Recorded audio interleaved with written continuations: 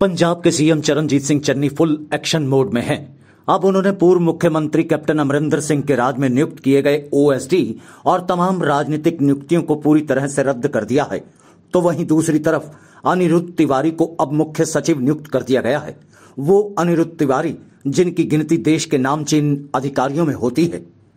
Bureau report अर्थ प्रकाश ताज़ा updates व बड़ी खबरों के लिए सब्सक्राइब करें आज प्रकाश टीवी और बेल आइकन दबाना न भूलें।